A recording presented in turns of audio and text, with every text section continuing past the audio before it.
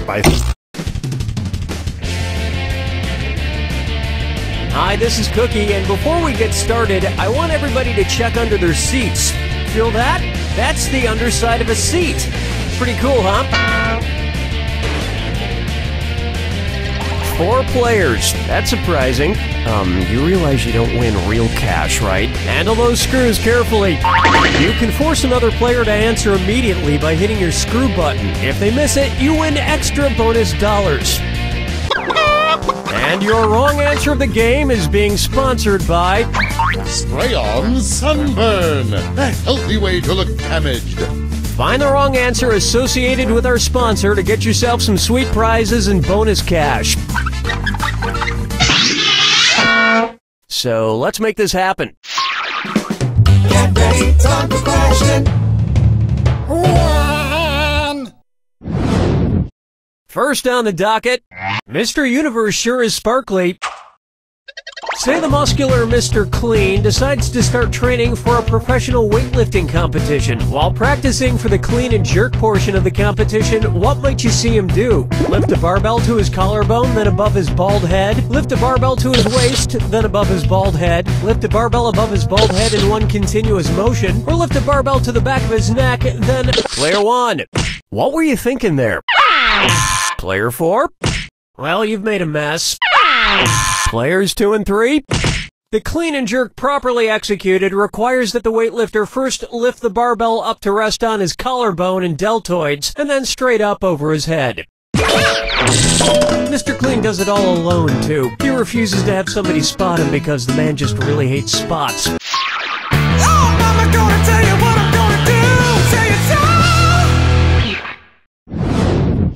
Here's one for you. I got me gun aimed at your heart chakra, and it's a bloody Dis or Dat! Player 4? That score is embarrassing. Play this dis or dat and make me proud. I am going to read off seven names, and for each, I want you to tell me if it's the name of a yoga pose or the title of a Jason Statham movie. If it's a yoga pose, press the square button. If it's Jason Statham, press the circle button. Now, the rest of you need to hear this. Lock in your answers before player 4 does, because if player 4 gets it wrong, everyone who got it right will split that cash. Alright, let's get started. Warrior! Plank! Crank!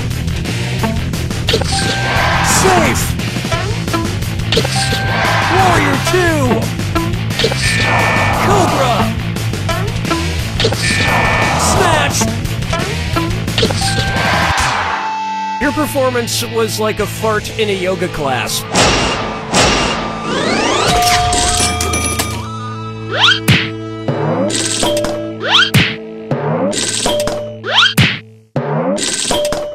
They offer free yoga classes here at the office every Thursday. Unfortunately, Thursdays are the days I pick up my weekly four cases of Slim Jims at Costco, so I can't make it. Dance with me, Try this on for size. I don't know how much an upright vacuum costs. Which company's logo would make the best name tag on the Price is Right? Targets, Best Buys, Walmart's, or Macy's?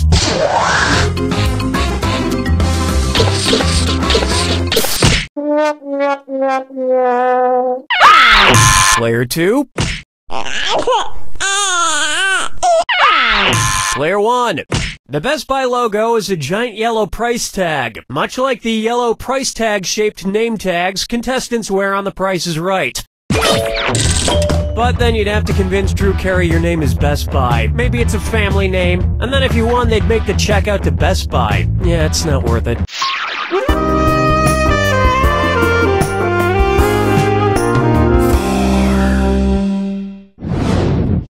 Up next, Hidden Wood. Hmm. You know what? Screw it. Let's do a Billy O'Brien question. One's made of skin, one's made of wood. So who's the dummy? Not me. Hello, Billy. I'm not Dilly. I'm Dilly's sister, Detty. Wait, What? You heard me. Mm, mm, mm, Okay. Which of these finest tuttets is not a female tuttet like me? Miss Tiggy, Shari Lewis's land shot, Toto Gigio, or Player three, who gets your screw? My oh my, player four, you're getting screwed. You've got five seconds to make a choice.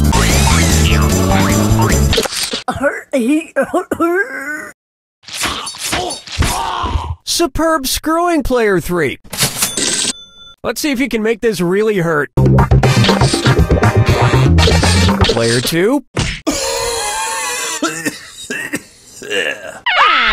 Player three. Oh, come on! Miss Tiggy, you're just trying to do wrong. Player one. Billy. Daddy, Betty, what are you doing? And why are you wearing that wig? just read the answer, Dunny. Miss Piggy, Lamb Chop, and Mokey are all females, I guess. But Topo Gigio, the famous puppet mouse from the Ed Sullivan Show, was a boy. Not to be disrespectful, but I guess I don't think of puppets as really having any gender at all. Well, if you die me a few drinks sometime, Mr. Nasterson, I could certainly prove you wrong. Um, let's talk about this off mic.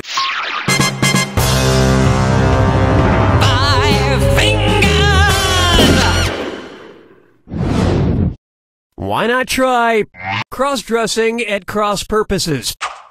Well, that was, uh, weird. It gets me thinking.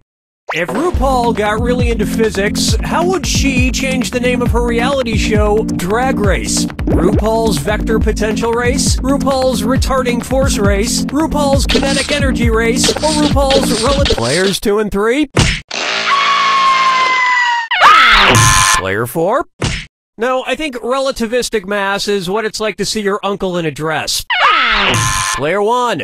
Drag is the lessening or retarding force on an object from wind or fluid resistance. And when you're cross-dressing, you have to be very careful about where your fluid resistance is coming from.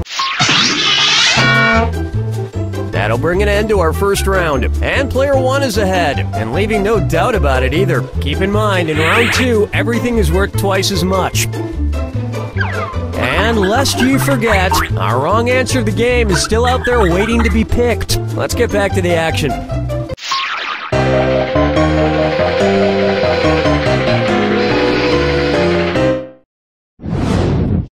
Here's one I like to call McConaughey there. If Matthew McConaughey went to visit his ancestral home of Scotland, what side of the road would he drive on? Alright, alright, alright. Alright, alright, but a little. Player two, who gets the screw? You're screwed, player three. Five seconds to pick an answer. Any last words? Uh, too late. Player two, you handle that screw very well. Why not pick up a few more bucks? Player four, check please. Players one and two. In Scotland, like in the rest of the UK, cars always drive on the left side of the street. If you drive down the right side in Scotland, you'll get killed. Question seven. Get up and shake your monkey bang. Next, gagging on the couch. There are so many characters in the Simpsons universe, I still don't know how many total because there are more of them than there are fingers at this office. I may have to figure out a different way to count. Hmm, maybe this Geiger counter over here. If I use a Geiger counter, which character from The Simpsons will it definitely count? Duff Man, Crazy Cat Lady, Radioactive Man, or Mr. Burns? It's so obvious. The Geiger counter is an instrument used to pick up radioactivity levels, so it would definitely pick up Radioactive Man. Radiation can last thousands of years, or a couple of seasons less than The Simpsons. It looks like you got burned. Now you can get burned for weeks to come with a can of Spray On Sunburn you just won from Spray On Sunburn. Spray On Sunburn, the safe, easy way to look sunburned fast. This wrong answer of the game nets you a handsome 8,000 bucks. Yeah, you're welcome.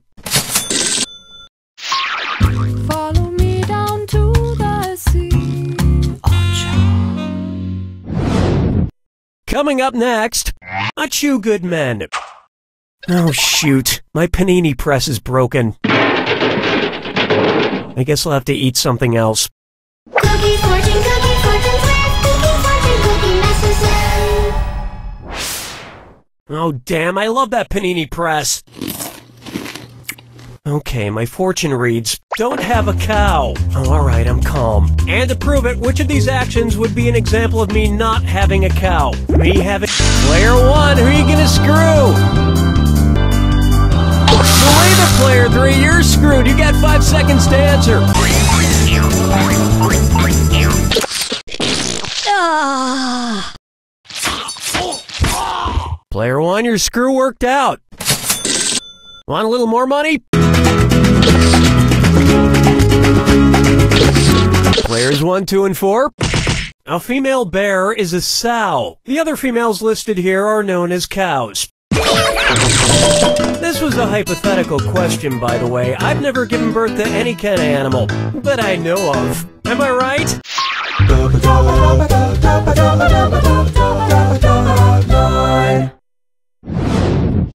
Take a good look at. Pitbull isn't dangerous, he's just misunderstood. What if the singers of Timber had no timbre? Kesha and Pitbull's voices. Why player four? Who do you care to screw? Player three, you're getting screwed. You got five seconds. That was quality. Ah, well played, screw player four. Time to twist the knife. Player two. Oh, that was nice. Players one and four. How do you say, uh, no? Want to see the right answer?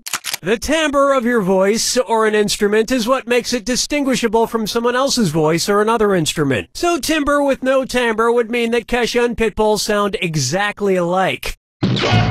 But with technology today, who knows what singers actually sound like anyway? I mean, take my voice for example. If we don't adjust it, Then I sound way different. I mean, can you hear how nasally I am?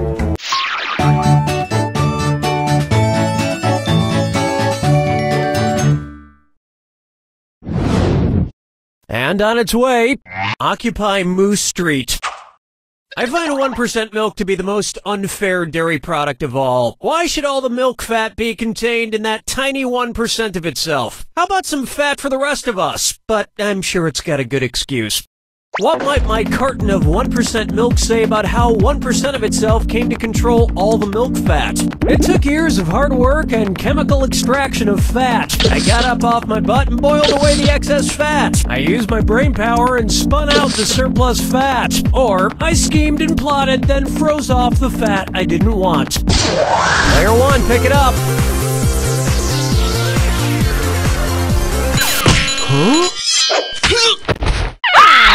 Player three. Hate to disappoint you, but wait, no, I don't. I so wanted you to pick this one. Whole milk, which contains about 3% milk fat, is centrifuged or spun at a high rate of speed until the heavier fat is separated from the rest of the milk. They can then add however much fat they require. And sometimes when cows give a lot of milk, it's too big to pale.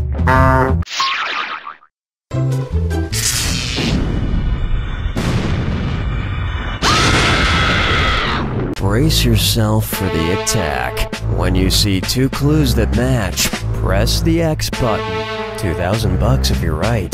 2000 gone if you're wrong. And one more thing. Remember the clue. It's gotta be a match that fits this clue. I'm a sexy French maid and this is a stick up. The robbers in these movies were disguised as what? Good luck.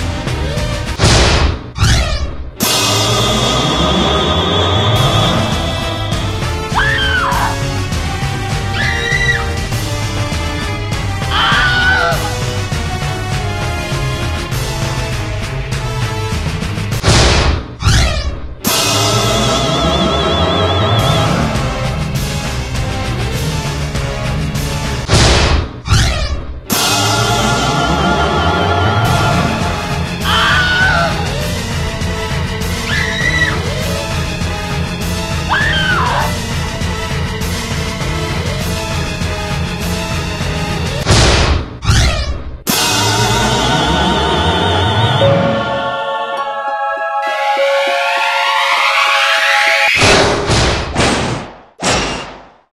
one takes it! Very nice score, player one. It's got a nice shiny coat, strong teeth, and its nose is cold. You should call it... You don't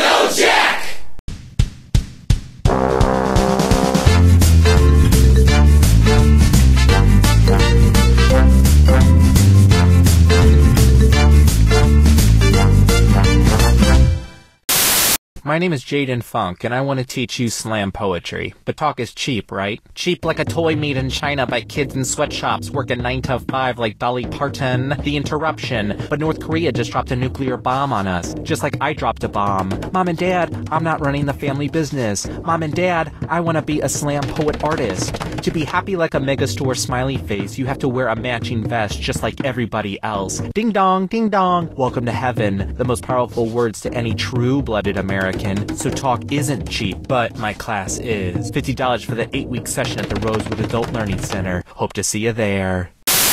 Anton Jones was the greatest detective in the world. I noticed a grey speck on your jacket, which could only have come from a quarry upstate. Gentlemen, the murderer is the mayor. But after a terrible accident, I'm afraid his body won't make it, but we can save his brainwaves. the greatest mind in the world now resides in a pocket calculator. Where am I? No! And with the help of a friend, he'll crack the case and crunch some numbers. Don't you see, John? There's no way his wife could have killed him. That's great. But how much should I leave for this tip? Oh, uh, 15% of 2850 is, uh. From the producers of Tommy Gulch, Attorney Stripper, comes Calculator Jones, P.I. Any last words, Calculator Jones? Boobs? Boobs. Freeze! Police! I'll be back on the street in no time. Then I guess I'll calc you later.